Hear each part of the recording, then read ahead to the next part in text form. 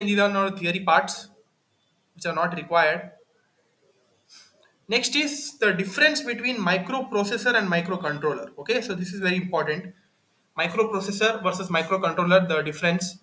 So here in microprocessor, a silicon chip representing a central processing unit which is capable of performing arithmetic as well as logical operations. A microcontroller is highly integrated chip that contains a CPU, scratchpad RAM, special and general purpose register arrays, on-chip ROM, flash memory for program storage. Next, here it is a dependent unit. It requires the combination of other chips like timers, program and data memory chips, etc. It is a self-contained unit and an independent unit which does not require any external interrupts. Okay. Then next is most of the time general purpose in design and operation, mostly application oriented or domain specific. General purpose means it is uh, uh, it is used for uh, mostly all, all the systems, whereas microcontrollers are domain specific. It is application specific. Wherever it requires, there only it would be uh, fitting in correctly. It does not contain a built input output port. The input output port functionality needs to be implemented with the help of the external programmable peripher- peripheral interface chips. That is, external programming part has to be done. Most of the processors contain multiple built-in input-output ports which can be operated as a single 8 or 16 or 32-bit port or as an individual port. Okay, targeted for high-end market where performance is important. Which here microcontrollers are targeted mainly for the embedded market where performance is not so critical. In simple words, you can say that microprocessors are mostly mainly are mostly and mainly used in the general purpose computing systems, whereas microcontrollers are mostly and mainly used in the embedded systems. Okay, so embedded systems are uh, and uh, microcontrollers have a, a huge link. Okay, that we are going to see in the upcoming modules as well. How these two are having a, a certain amount of link limited power saving options compared to microcontrollers and it includes a lot of power saving features okay so again this is very important guys the difference between microprocessor and controller so next difference is again very important one that is RISC versus CISC okay very very important guys okay so these uh, things are there right this, it, is mentioned in a very beautiful table here if you learn these points well and enough your uh, this question would be definitely arriving for 6 to 7 marks in the final exam so the first difference is it has lesser number of instruction. Uh, the, so the name is the name itself uh, suggests that it is reduced instruction set computing. So that's why it has lesser number of instruction. Complex instruction set computing that is complex, so it has greater number of instructions. Next is instruction pipelining and increased execution speed. Instruction pipelining means the instruction from one branch it would be separating to all the other branches. Okay, so that is the instruction pipelining.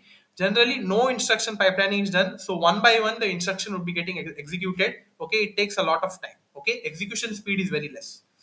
Next is orthogonal instruction set. That is, it allows each instruction to operate on any register and use any addressing mode. Non-orthogonal instruction set. Operations are performed on registers only. Operations are performed on registers as well as memory depending on the instruction, what type of instruction is being used. Okay. Large number of registers are available in case of RISC. Limited number of uh, general purpose registers. Programmer needs to write more code to execute a task since the instructions are simpler ones. Okay, so in case of uh, RISC, the instructions are very simple one. So that's why the program length also would be very high very large. Since the instructions are uh, complex and uh, due to that complex instruction the programming part would be very less okay? So that's why the instructions like macros in c language is a simple example where a programmer can achieve the desired functionality with a single instruction which in turn provides the effect uh, more simpler than the, than of the RISC part okay? Next is single fixed length instruction. Next is variable length instructions. Less silicon usage in and pin count.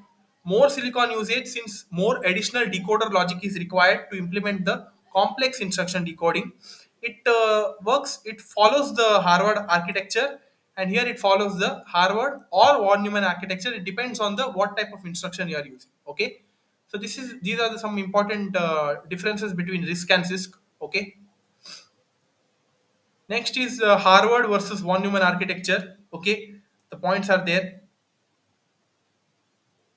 So the main difference between Harvard and von Neumann in, is in von Neumann we have a single shared bus. From a single bus we have input memory cpu memory and memory block. And whereas in uh, harvard architecture it has separate bus. It is not connected through a single bus. For example if you see a program memory cpu and data memory. Okay so these are the differences here that is uh, separate buses for instruction and data fetching for Harvard, whereas in case of Von Neumann, we have single shared bus for instruction and data fetching, easier to pipeline, so high performance can be achieved. Low performance uh, compared to Harvard, high cost, cheaper, no memory alignment problems, allows self-modifying codes, okay, so that the memory alignment would be easier. Since data memory and program memory are stored physically in different locations, there are no chances for accidental corruption between the data. Accidental corruption means any unwanted er- errors won't be appearing since we have different data memories for data and program memories. Whereas in case of uh, von Neumann architecture, since the data and program memories are stored physically on the same chip, so it would be very difficult to uh, crack the errors and uh, the error uh, probability is very very high okay so these are the differences between harvard and von neumann architecture next is big endian versus little endian processors okay so again uh, these things are very important ones uh, little Endian, little Endian means the lower order byte of data is stored in memory at the lowest address, whereas the higher order byte of data is stored at the highest address. Okay, that is the little end comes first. Whereas big Endian, big Endian is just opposite of little Endian. That is the higher order byte is there, right? The higher order or the MSB bit is stored memory in the lowest address, whereas the lower order that is the LSB bit is stored at the highest address. Okay, the MSB bit is stored in the lowest address and the LSB bit is stored at the highest address, whereas in Little Endian it is uh, uh, lower for lower address and higher for higher address. Okay, so this in uh, this simple diagram they have uh, referred for uh, uh, it, for different addresses, the memory locations, the bytes are stored here. You see here. So this is for Little Endian byte zero, the lowest address, byte 1, next address, byte 2, next address, and byte 3. Okay, so see here the lowest address, the highest byte that is byte 3, byte 2 comes the next address, byte 1, next address, and byte 0. Okay, just the opposite uh, to that of the Little Endian. So this is one simple representation of Little Endian and Big Endian. You please make a note of it because this is very very important. Okay so that's all for this video guys i hope uh, some other things are there that i'm going to instruction pipelining and all that i'm going to explain in the next video okay? So that's all for this video guys. Hope you understood something from this video. We have discussed a lot of concepts in this video as well. Main thing we have discussed about the core of the embedded system elements required in that what are the elements and what are its relations everything we have discussed. And we have uh, seen with some of the main differences that is a microprocessor versus microcontroller, RISC versus CISC, Little Endian versus Big Endian, Harvard, Von Neumann architecture, everything we have discussed. So all whatever we have discussed, right, everything is very very important, guys. So you should be studying all of them. Okay. So as I've told you, this PDF I'm going to put it in the video's description. Go access it by subscribing it to our channel, download it, and please go through it. Okay. So thanks for listening till here, guys like share subscribe to our channel uh, we'll see you in the next video okay thank you